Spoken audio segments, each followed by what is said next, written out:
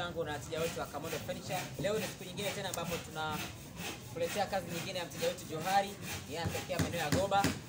Tayari imekamilika kama unavyoweza kuona, ni kitanda cha kiko na kabati lake, au sio bwana? Ni seti ya chumbani ambapo mteja wetu Johari yeye kaamua achukue different color. Unaona bana eh? Rangi tofauti tofauti. Kazi imekamilika na ina finish ya kutosha as you can see. Finish inapendeza, inang'aa vizuri. Kama unavyoweza kuona ni kama kioo unajiona kwa ndani. Umeona bwana eh? Hii ni black color lakini ina style fresh. Umeona bwana eh? Ukiachilia mbali kitanda chetu hichi cha tano kwa sasa cha boss wetu.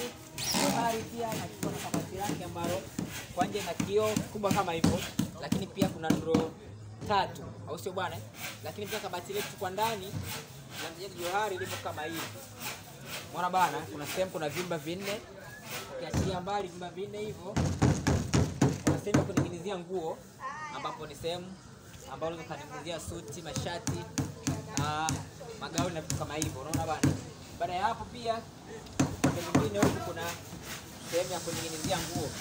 Hizi ni kazi ambazo zinapatikana Kamondo Furniture peke yake na wateja waliotuchagua sisi kama Kamondo Furniture ndio watu ambao wanafaidika na vitu kama hivi.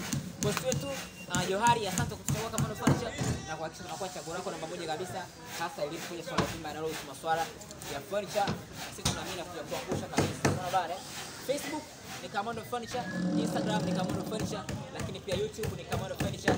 Usisahau kusubscribe YouTube channel yetu hiyo ili uwe unakuwa wa kwanza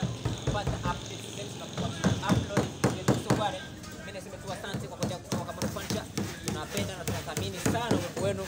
Ciao, kama unasubiri. Kwani ciao ya the best.